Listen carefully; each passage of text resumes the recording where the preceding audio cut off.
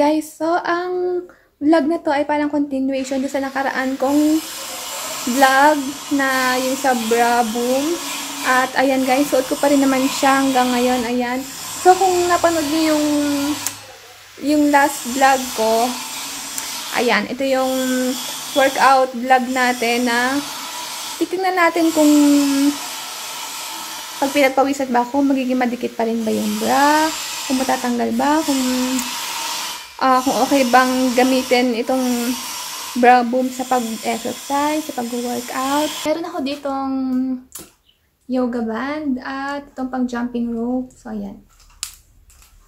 So, ang gagamitin natin na pang-exercise. Mag-stretching muna tayo. Stretch, stretch muna.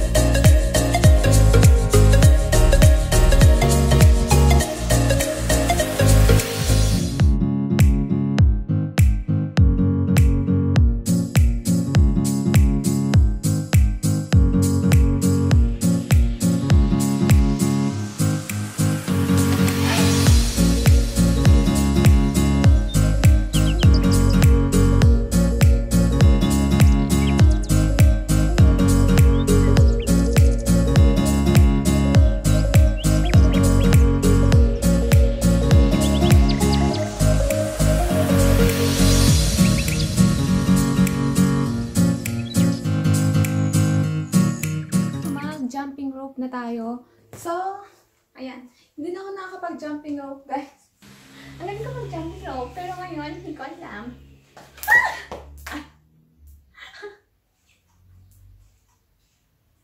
Ingay. Okay,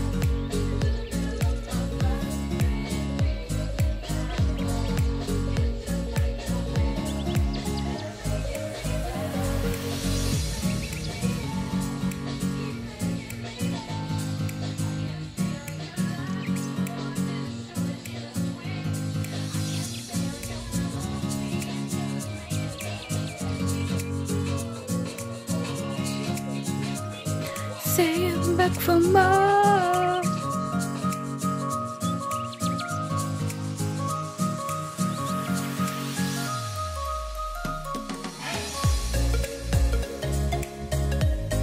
Sa mga sinukat kong damit, ito yung nagustuhan ko guys. Ayan.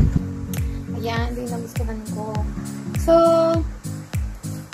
nilagyan ko lang lang ng belt para naman maganda tingnan, syempre. Para mukhang fashionable tingnan, di ba? Kasi ang luwag nito eh. Hindi ko siya trip.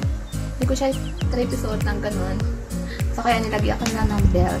Sana nagustuhan nyo tong random vlog ko lang na to. Ito ko natatapusin ang video na to. At sana nagustuhan nyo kahit paano itong random vlog ko lang na to. Don't forget to, to like this video, syempre.